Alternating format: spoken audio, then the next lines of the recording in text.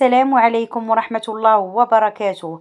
اقتراح اليوم سلطة لأصحاب الريجيم وكذلك مغذية وصحية بزاف بزاف.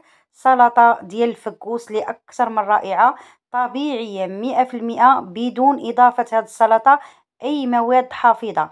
هنا خديت الفقوس اللي هو شبيه ديال الخيار هو من الفصيلة ديال الخيار ولكن هذا الفقوس اللي غسلته مزيان بالماء والخل الأبيض اللي كنعقم به وكذلك آه، نشفته ومن بعد آه، حيدت ليه اللب الوسطاني وقطعته قطع يا إما تقطعوه صغير أو لا متوسط وكذلك مطيشة اللي نقيتها وحيدت ليها الزريعة الوسطانية ديالها حتى هي قطعتها بنفس الطريقة.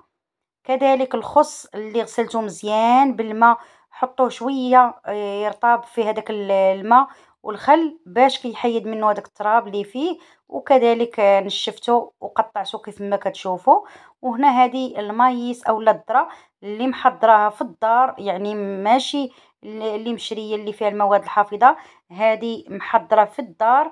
غادي نخلي لكم الرابط ديال لا فيديو كنت حطيته سابقا في أول تعليق وكذلك في صندوق الوصف. احتاجيت شوية ديال زيت الزيتون والملح وشوية ديال الخل.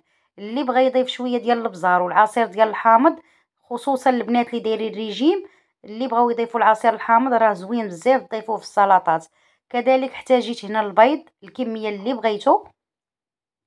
وهذا هو الشكل ديالها مغذية طبيعية مئة في المئة بدون مواد حافظة. تقدميها مع الوجبات ديالك الرئيسية. أو لا كوجبة رئيسية لأصحاب الدايت. آه كنتمنى هاد la vidéo ينال الإعجاب ديالكم. جربوها والى عجباتكم ما تبخلوش عليا بتعاليقكم بلايكاتكم بارطاجيو la vidéo مع الأحباب والأصدقاء وغادي نخليكم مع باقي وصفاتي اللي كاينين على القناة وبالصحة والراحة.